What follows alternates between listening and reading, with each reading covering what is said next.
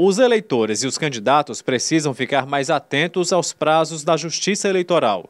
Como a campanha ficou mais curta, as datas para a burocracia também apertaram.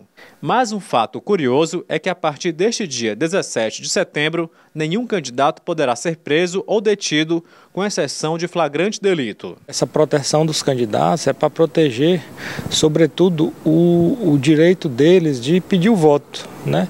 o direito também do eleitor saber das propostas do candidato.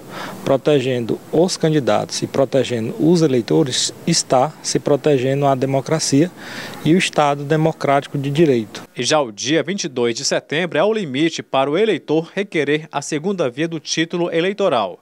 Muita gente se questiona sobre a apresentação obrigatória ou não do documento. Hoje aqui no Piauí a gente tem, na maioria das cidades, a questão da, é, da digital.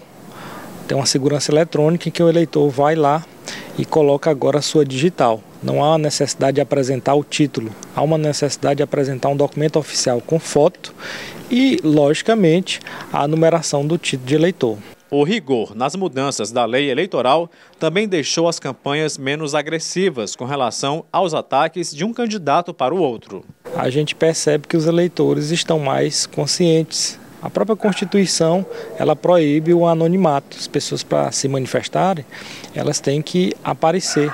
E essa questão de, de ataques, de difamação, de injúria, de calúnia, ela vem diminuindo muito, graças também é, à repreensão da justiça eleitoral.